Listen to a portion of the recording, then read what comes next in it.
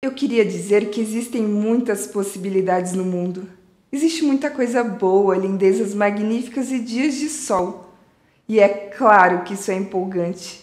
É lindo, é sensacional. Mas tem coisas que não dá para entender. Existe um vazio no mundo, um vazio que não dá para explicar. E as pessoas são tão insignificantemente pequenas com seus enormes egos que não dá para entender por que elas continuam maltratando umas às outras. Mas vai ficar tudo bem. Sempre fica tudo bem.